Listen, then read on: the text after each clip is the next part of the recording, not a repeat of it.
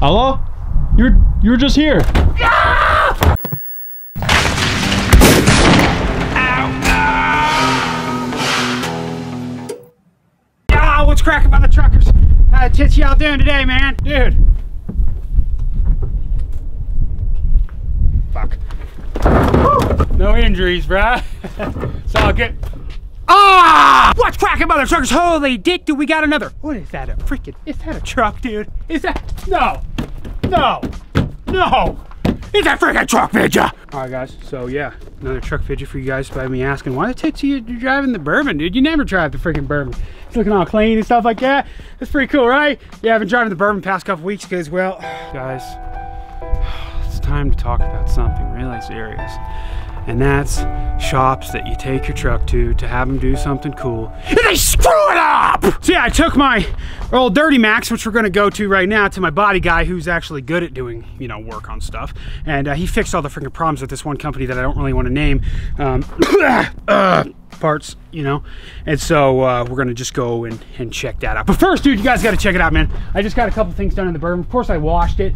The wrap on this thing, man, it's fading pretty good. Like, got a lot of marks back here that are just kind of, getting really bad, you know, with the sun, because I'm not able to fit this thing in any of my garages or whatever, right? Scratches going on. So I'm, I'm ready to take this wrap off. I'm ready to do a new wrap. Man, I'm a big fan of snow camo lately. You know, it is the freaking winter. So I like to do kind of like a snow camo white theme with the same kind of look, you know what I'm saying? Because I like this look. So you guys let me know in the comments below if you guys got a good uh, wrap idea or something like that, you know? But first, what I did is we got new tint on the sides. Banjo bro, when he was a little baby, freaking he scratched the tits out of this son bitch. So we got new tint. This is 20%, which is uh, not exactly legal. Apologize. What the? I'm sorry. I'm sorry. So we got 20% done on the two fronts. The backs are fine. These are basically 20 with the perforated windows. And then we got the windshield done. Windshield uh, 30%, and then we got a new 5% strip. Took the uh, keep a freaking hillbilly sticker off the front because some bitch just was fading like crazy. So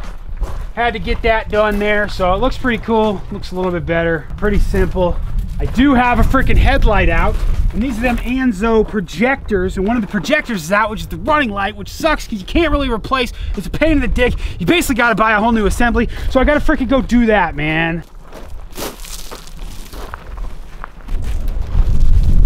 I don't know what I'm doing, really. I don't really know what I'm doing. All right, well, um, let's go to the body shop.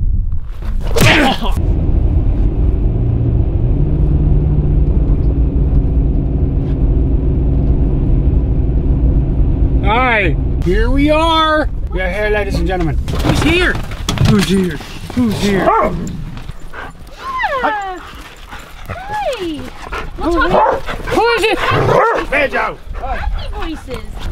Hello. Hey, what are you doing? Tom, my man. All right, guys, here we go. Julie, right here. We're in my man Tom's place, Mirror Image, the greatest body shop in the whole world, of all of the worlds. and uh, he also got my Camino, which is back over there. We'll go. Let's go get an update on the El Camino right now. Look at this pretty thing. Not so pretty right now, but oh dang. Got all the body works done on the doors, Yeah. the roof, the hood's been primed once, blocked. Yep. It's ready to paint. That's pretty. Oh, I can't wait to drive this thing again. It's gonna be so fun. So, like I said, once the bodywork's done on this, we are going to be. Hey, can you guys see me? Am I too close? We're gonna be doing a uh, a matte black on this whole thing. Tom, I think I'm gonna go with the gloss black stripes. Let's do it. I think we're gonna Let's do it. do it. I don't think I'm gonna wrap it quite yet. No. I think if I want to, maybe just to give it a cool look for a couple years, maybe I can, but at least it'll be painted underneath. We're gonna do the gloss black SS stripes, big old outlaw logo on the hood. Gonna be like the death-proof car. I think it'll be pretty sweet. Yeah. So, you guys getting into too much trouble? So there's the El Camino. Now we gotta look at the Dirty Max. See what happens. So I brought it over to Tom because, um, well, I took it to a certain company.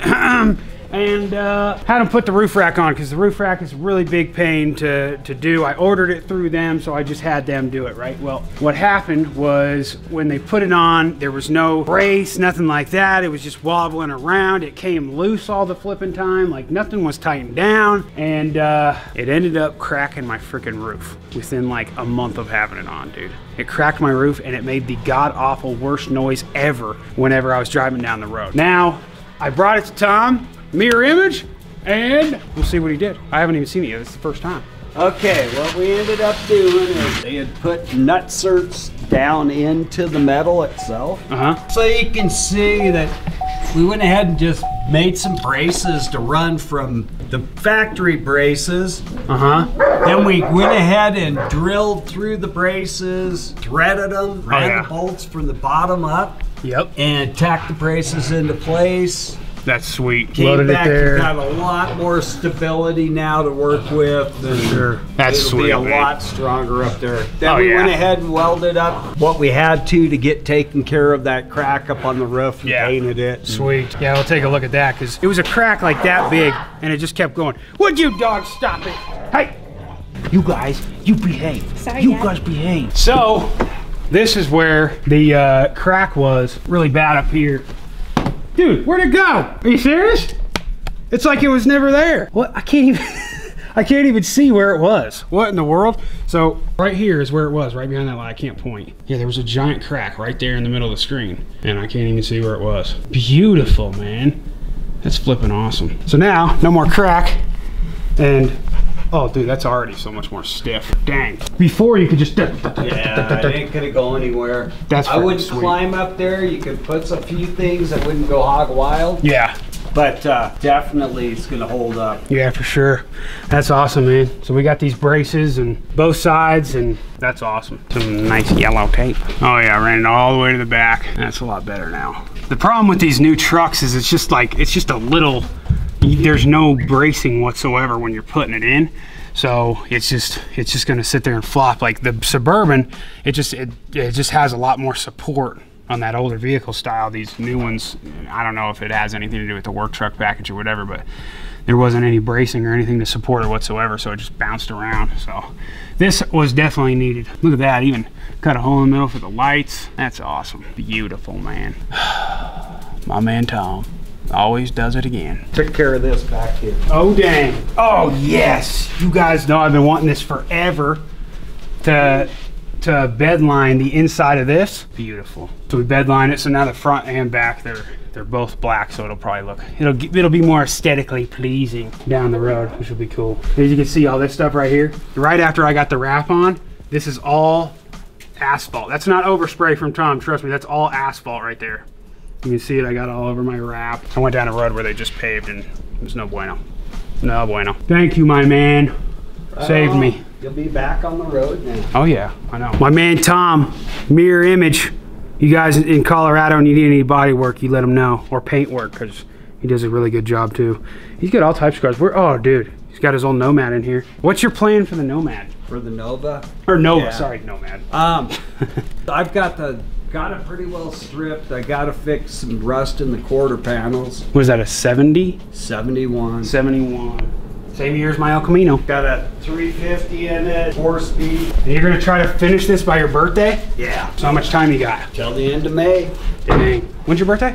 The 28th. Oh, mine's 25th. Is it? You're a little younger than me, though. I'm, I'm a, a few years older than you. What do you get? It's it's called Raptor. It works good. Yeah, that's sweet. I like it. Looks a lot I like it because it holds up good. Like on this one here, I'll paint all this a satin black and I'll do all that under here. Yeah. So you'll have the protection underneath. Yep. And it looks nice too. You know, Yeah. if somebody walks up and they run their hand under, there, they go, oh, that's nice. you Yeah. know, it's- Thanks, man. couple days, man. All right, Tom. All right, hey, you guys have a good night. You man. We'll too. see you. Hey, thanks. Yes, sir. Well, there you go. Nice to have a little update on the Dirty Max. We'll pick that up. We gotta go. Me and Bro are gonna go snowboarding tomorrow, so we're gonna pick it up on Friday. He's gonna throw that uh, roof liner back up. So nice to have that, especially when I actually want to carry stuff on top. Crack the roof. He did a really good job. He's a really good painter too. I can't wait to see what he does with the El Camino. But yeah, man, the vehiculars are getting done. I know you guys want more truck videos, so here's one for you. I hope you guys enjoy it. We'll be doing some more stuff. I'm waiting for some freaking snow. It's been snowing like crazy in the mountains, but it ain't been snowing down here in the foothills. So we're gonna try to uh, get some some four wheeling in the snow vidges coming up, but it's still not supposed to snow for the next couple weeks. So we'll try to get her done. But we'll see you back at the house. Hey. dude, we just appeared right here at home, dude. What's cracking? farted. I don't know if you could hear that or not. I apologize. I know you guys wanted a K20 update. It's just been freaking sitting here. It works and everything. Just ain't been driving it much, but because, well, because, because, well, there's no freaking seats inside. There are, but they're a little low. so if you guys don't remember, I got these PRP racing seats. Let's take one of these out. Got these PRP racing seats right here, and uh, we're gonna weld these up inside, and I'm gonna have Tom do that as well. And uh, we just gotta basically once the El, or once at least the Duramax is done, I can probably bring this over and he can work on it uh, when he's getting parts in for the El Camino. But um, yeah, we basically just need to make a bracket because there was a bench seat here and you know of course we got two bucket seats so we're just going to lift it up get my eye level and everything good and then these will be in and i think they'll be pretty cool we'll take these old seat belts out and i got racing straps so that'll be freaking sweet and then you know there is the thing that i have been thinking about you know i live in colorado right I live in the Rocky Mountains, man. You know, the only problem about living up high in this elevation is it really sucks to have a carbureted motor. And I didn't really think about that whenever I was putting this 383 stroker in it with Dang. So, thinking I might just sell it. What do you guys think? You guys want to buy it? Let me know in the comments below. Just kidding, dude. and it, freaking planes, dude. And so, oh, dude, freaking chemtrails, man. Dude, get down.